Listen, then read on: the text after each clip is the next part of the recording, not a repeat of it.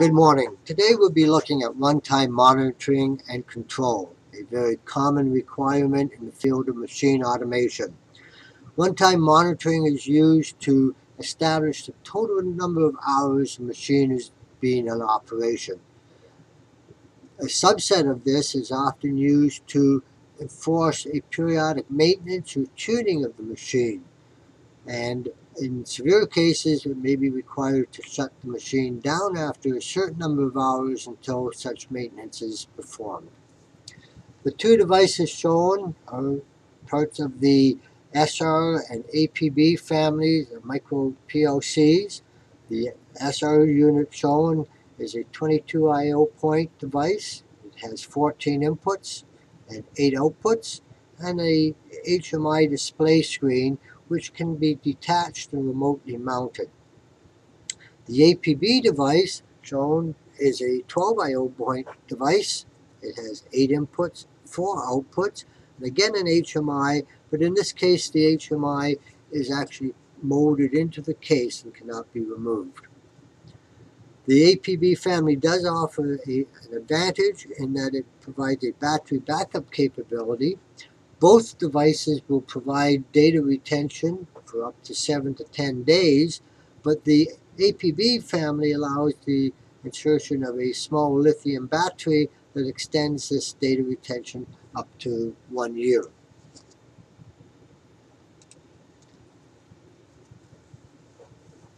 When looking at monitoring time, the first place to look is at the built-in time functions available on the APB and SR controllers. To show the limitations that you may face, we'll look at the delay keep on timer as an example. The first limitation we notice is that the time range is up to 999 hours.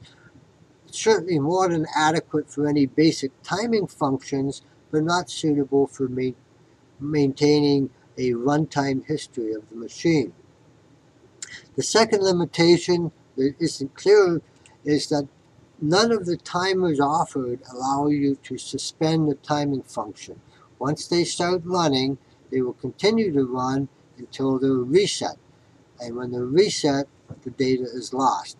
So it's not really applicable for what we're trying to do as far as monitoring the overall life runtime history of the machine. So I will delete that and look at a circuit that we've put together to do that function. Basically, to measure time, all we need to do is count the number of seconds. So I've used a small blinker box that generates a 100 millisecond pulse and then waits for 900 milliseconds and does it again. So this will give us a one second pulse train of pulses 100 milliseconds wide. Uh, we've tied the trigger input high, so it's always running, and we've tied the reset low, so it never resets. So once machine power is applied, this oscillator, this blinker, will start generating pulses and continue to do so. These pulses are coming out at its rate of one second, so I will apply those to a counter. And in the counter, what we do is um, we set it so that we start counting up um, the direction is set to count up. We set the retentive bit so that it we will retain the count information in memory and we can set the threshold to count the number of seconds that uh, the blinker generates. If you were trying to resolve down to say a minute, you would set this to 60. So every 60 seconds you would get this output going active, and that would represent one minute. If you were counting hours, you'd set this to 3600, and so every hour you would get a pulse coming out uh, representing one hour has passed.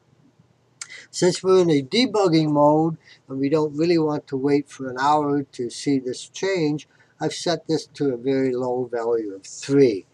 Uh, that means every 3 seconds I'll pretend one hour has elapsed and uh, pass that pulse on. The other part that we need to do is after we hit our three seconds or 30 seconds or 60 seconds, whatever the period of time, we want this counter to be reset.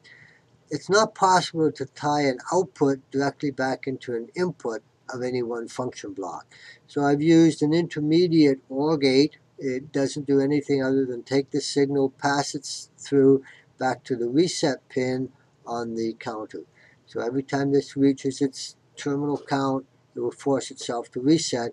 And that will generate a pulse coming out of here that goes up and then comes back down once every um, time period. We'll pretend that this is an hour counter and that we've got a preset set to 3600. We'll feed that pulse then into a, another counter and this is the machine runtime. Uh, we've set its threshold very, very high. We don't really care if it ever hits. And uh, to give you an idea, this represents multi-decades of machine time, um, that number of hours. So it would never hit its terminal count. Again, we count up, we set it to be retentive, so we retain the information during power cycles, and we tell it to count on the rising edge. The last piece of a little uh, count um, machine monitor is the HMI.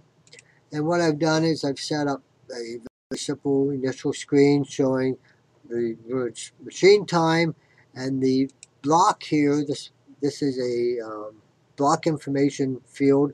It's taking the current value from this counter B0002 and we'll display it that as that value.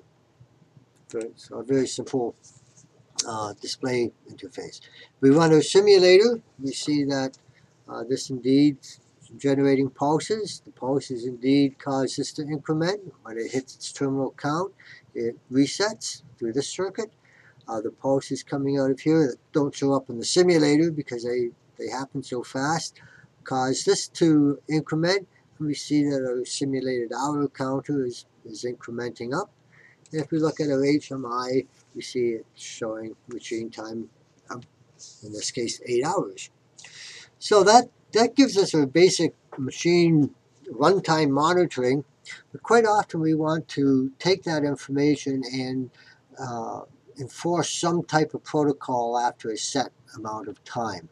So we've gone and we've taken the same circuitry where we have a blinker, we have a reset, um, in this case, we've again set it to 3 so that we don't have to wait here for hours to watch things change. And we'll feed that into a function count.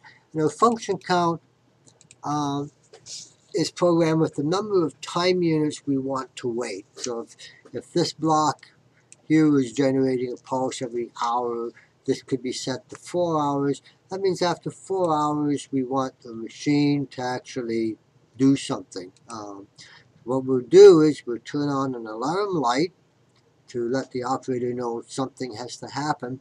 We'll also use that signal to force the blinker to be reset.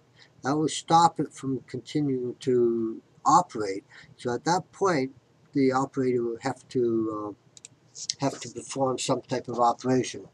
The other capability we've added in is we've assumed that although the machine is running, this particular function may not be active. Again, using a furnace as an example, the machine may be powered up, but only when the furnace is turned on do we care about the runtime. And we uh, assume that after a four-hour cycle, that some preventative maintenance has to be performed on our oven. The alarm light goes off. That signal causes the blink to lock up. No further counting happens.